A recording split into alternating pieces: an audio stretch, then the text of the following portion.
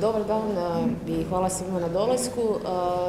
Danas želimo reći da organiziramo, suorganiziramo okrugli stol zajedno sa SDP-om i Radničkom frontom. Okrugli stol o humanitarnoj katastrofi koja se odvija u Gazi, gdje svjedočimo desecima tisuća mrtvih i ubijenih civila i gdje ovim okruglim stolom još jednom želimo reći da to treba prestati i da je vrijeme za trajni mir i za trajni prekid vatre u Gazi. Uh, ovim okruglim stolom, kao što sam rekla, uh, želimo isto tako stvoriti pritisak uh, na vladu Republike Hrvatske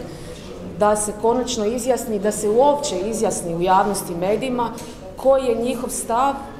oko katastrofalne situacije u Gazi, oko koje se ministar vanjskih poslova recimo uopće više niti ne izjašnjava u javnosti, gdje se ministar vanjskih poslova pravi da to nisu njegova posla, da se to njega uopće ne tiče, gdje imamo situaciju da smo danas na okrugli stol pozvali Ministarstvo vanjskih poslova, no kako čujemo nitko se nije odazvao. Dakle, ta situacija se apsolutno mora promijeniti i hrvatska vlada mora reći što planira napraviti po pitanju zagovaranja trajnog prekida vatre i e, trajnog rješenja mira u Gazi. E, isto tako, e, vi znate da smo mi prva stranka koja je uputila zaključke o prekidu vatre u Gazi i pet zaključaka stranke Možemo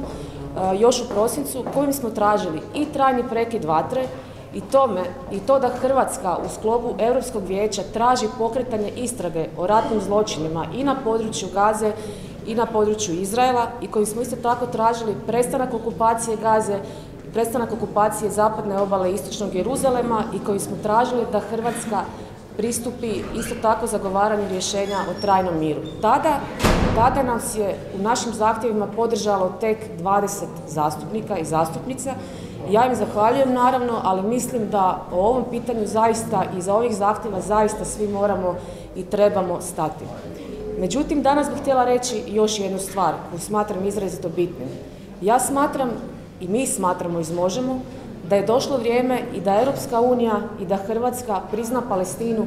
kao neovisnu i kao suverenu državu. Za to je uistinu došlo vrijeme, krajnje vrijeme i mogu odmah reći da će priznanje palestinske države biti dio i nacionalnog i europskog programa stranke Možemo. Priznanje palestinske države naravno simboličan je čin, ali je on vrlo, vrlo važan čin jer time želimo reći i da Hrvatska i Europska unija stoje iza svojih riječi, da to nisu tek isprazne riječi, nego da stoje iza svojih riječi, da se zalažu za trajni mir i da se zalažu za rješenje od dvije države. Mi smatramo da palestinski narod apsolutno zaslužuje bolju budućnost, da zaslužuje svoju državu i mi ćemo to, kao što sam rekla, staviti u svoj nacionalni, u svoj europski program. Zahvaljujem.